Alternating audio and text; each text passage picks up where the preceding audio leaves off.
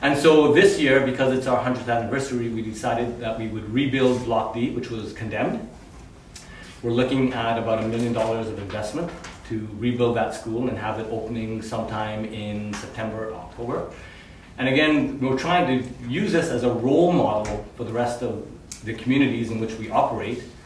That you know, this is a great example of a PPP, a, a public-private partnership aimed at improving the next generation of youth that we think will be the next leaders and entrepreneurs within Barbados and the other communities in which we operate.